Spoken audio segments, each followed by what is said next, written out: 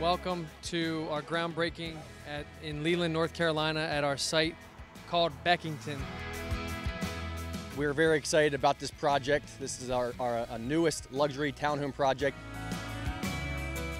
We bought this as an approved subdivision and value engineered the architecture of 143 townhome units, half of which have garages and half of which do not.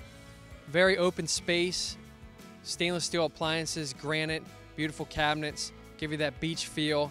And we're very excited to bring this product to one of the fastest growing counties in the United States of America. This is a great um, community for families or move-up buyers or people that want to be close to the beach and have two houses. The colors that are going to be within the community are beachy, the cabinet color's white, the walls are gray, it gives you that modern feel. Our company, Burkentine Builders, was established in 1989 uh, by my father. Our company consists of four div divisions, which is land development, builders, properties, and investments. We are expanding into a lot of different markets right now and very excited to be here in this community.